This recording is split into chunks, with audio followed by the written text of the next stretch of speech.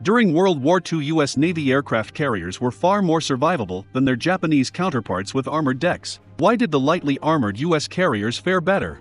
This was largely thanks to Navy Fleet Admiral Chester W. Nimitz had vast knowledge about shipbuilding and maintenance, and was a pioneer and expert in underway replenishment. His expertise gave way to excellent ship damage control teams with unequaled officers. For example, his ship teams kept the carriers full of ammunition and fuel and pioneered draining lines immediately after use and filling voids by replacing dangerous fuel fumes with safe carbon dioxide. This attention to detail and maintenance and staying on top of mundane tasks is what helped U.S. carriers outlast Japanese counterparts in battle. An example of this was the USS Yorktown, which survived multiple Japanese air attacks and was kept afloat by repair crew for days after a torpedo strike in the Battle of Midway. Nimitz' new victory came from ordinary sailors who could keep a ship afloat. Make sure to subscribe, folks.